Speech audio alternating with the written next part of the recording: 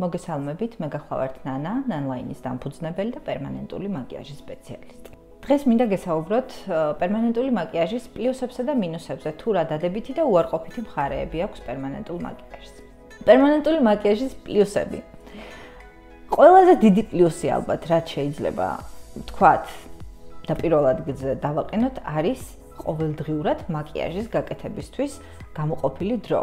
აი ეს დრო აღარ გჭირდებათ ფაქტიურად, იმიტომ რომ პირს დაიბან და უკვე ლამაზი ხარ. ვინაიდან და რადგანაც თქვენი წარბი მუდმივად ფორმაში არის. არ სჭირდება ფანქრით შელამაზება. თვალი გამოკვეთილი არის ლაინერის მეშვეობით და ტუჩსაც აქვს კონტური, ფერი და გამოიყურება ლამაზად. პერმანენტული მაკიაჟის მინუსები. აა თავარი და უპირველესი მინუსი პერმანენტულ მაკიაჟში ეს გახლავთ არასწორად შერჩეული სპეციალისტი.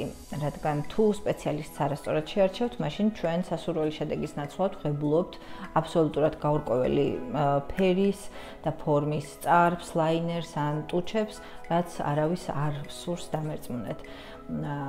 ხშირად გინახავთ ალბათ თქვენ სახლობლებში ან ინტერნეტში მაინც ფოტოები, როგორ გამოიყურება წარბები არასწორი манипуляციის შემდეგ, არასწორად შერჩეული პიგმენტის შემდეგ, ამიტომ ამ ყველაფერს რომ თავი დააარიდოთ, აუცილებლად კარგად შეერჩიოთ ხოლმე სპეციალისტი.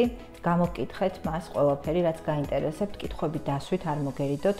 თქვენ უნდა გქონდეთ ამოწურავი ინფორმაცია პერმანენტულ მაკიაჟზე, იმაზე თუ როგორ უნდა მოუაროთ, იმაზე თუ როგორი იქნება შემდეგ შეხორცების პროცესი, როგორი იქნება უკვე მოშუშებული, რა შედეგი იქნება, ანუ ეს ყველაფერი თქვენ უნდა იცოდეთ.